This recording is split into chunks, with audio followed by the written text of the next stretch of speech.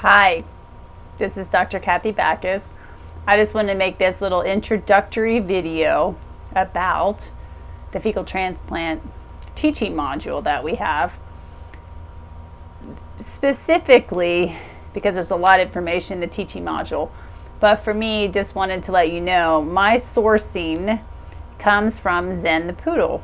And Zen the Poodle came from Margo Roman, who I'm showing her card here. She literally is the nation's premier microbiome restorative bank or fecal transplant donor specialist. She literally has raised five generations of poodles, all naturally, holistically, on organic foods, no antibiotics, minimum vaccines just as puppies, and then having titers. She's almost like meticulously crazy of not having them exposed to any chemicals. I mean, you literally could not raise a more pure donor dog in general. And she has five generations, almost, literally almost 30 years of work that Margo, Dr. Margo Roman, put into creating this pure and diverse line of microbiome.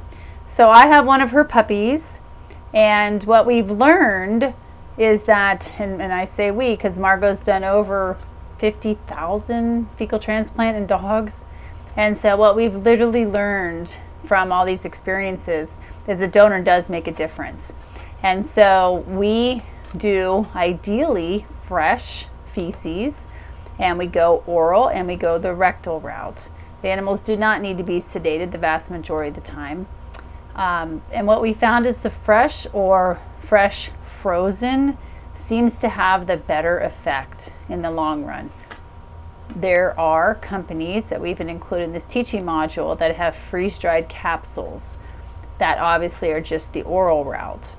And we have found that even though I'm a big, big advocate of freeze drying, I have a freeze dryer. I freeze dry food, it preserves nutrients like no other, the best way of actually preserving nutrients in food.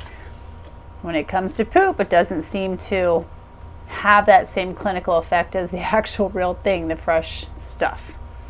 So, that's one really important factor that we have one of the donor dogs on the west coast right here in Kanab, Utah as a source. And so Zen is is that fecal donor. The other uh, point to speak to is it actually is more cost effective to have the fresher frozen because you can imagine if you have to stuff little capsules and make them and then ship them on dry ice, it has more expense to it. And even including with the freeze dried capsules. So you're looking at just under $250 for both the oral and the rectal fecal transplant. Uh, so you're getting some sort of uh, cost idea with this. The thing that's amazing is if you look around, you look across this country and other veterinary facilities that are doing this, and they're not using great donors.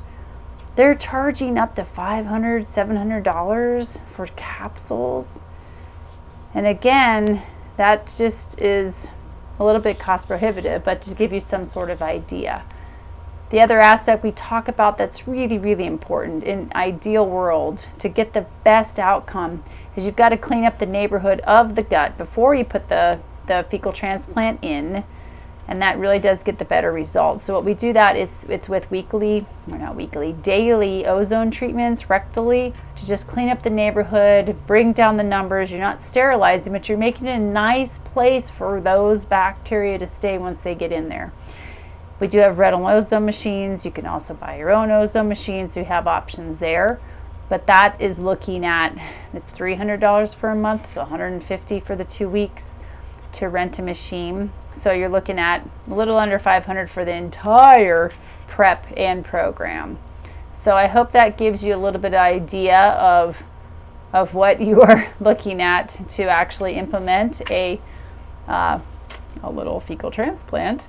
And just so you know, we can actually have these, but we use it a lot for chronic, inflammatory, difficult, get to the root cause, heal issues like allergies, any kind of inflammatory bowel disease, colitis, even parvovirus, anything that's really destroyed that gut is hugely important. But then what we see in older dogs uh, are the allergies, things you cannot get under control, even with cancer.